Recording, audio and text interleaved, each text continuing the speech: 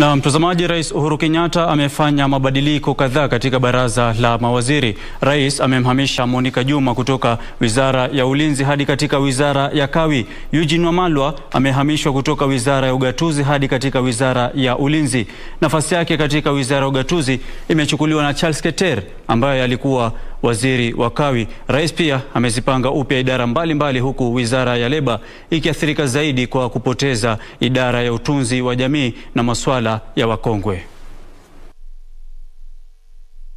Rais Uhuru Kenyatta amefanya mabadiliko kadhaa katika baraza la mawaziri ambapo amemhamisha Monica Juma kutoka wizara ya ulinzi hadi katika wizara ya kawi huku nafasi yake ikichukuliwa na Eugene Wamalwa ambaye alikuwa akihudumu katika wizara ya ugatuzi. Charles Ketere ambaye alikuwa waziri wa kawi amehamishwa hadi katika wizara ya ugatuzi.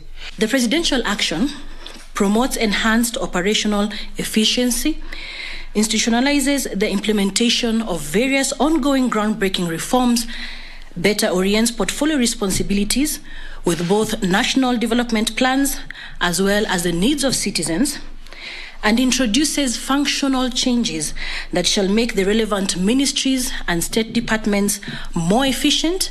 Aidha, mabadiliko haya yameshuhudia kuhamishwa kwa meja jenerali mstaafu Gordon Kihalangwa kutoka katika wadhifa wa katibu katika wizara ya ujenzi hadi katibu katika wizara ya kawi.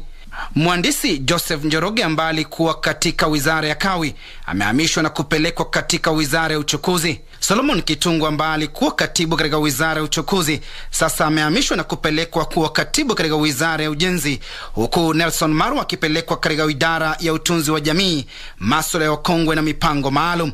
Idara ya kushughulikia sehemu kame imehamishwa kutoka wizara ya ugatuzi pamoja na ile ya utunzi wa jamii, malipo ya uzeni na ile ya kuwashughulikia wakongwe kutoka wizara ya leba na kupelekwa katika wizara ya utumishi wa umma na jinsia.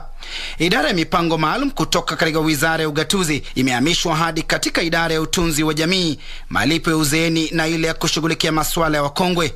Rais amebadilisha jina la idara ya mipango maalum na kuwa idara ya utunzi wa jamii, masuala ya wakongwe na mipango maalum. Wizara ya ugatuzi wa maeneo kame imebadilishwa kuwa wizara ya ugatuzi. Wizara ya utumishi wa umma na jinsia sasa itakuwa ikijulikana kama wizara ya utumishi wa umma, masuala ya wakongwe na mipango maalum, huku wizara ya leba na utunzi wa jamii ikibadilishwa na kuwa wizara ya leba. Timothy Kipnusu, Darubini. Mtazamaji, taarifa yake Timothy Kipnusu inatukamilishia awamu ya kwanza ya taarifa hizi za Darubini ya Channel 1. Usiende mbali, tukirejea baada ya pumziko hili ni taarifa zaidi.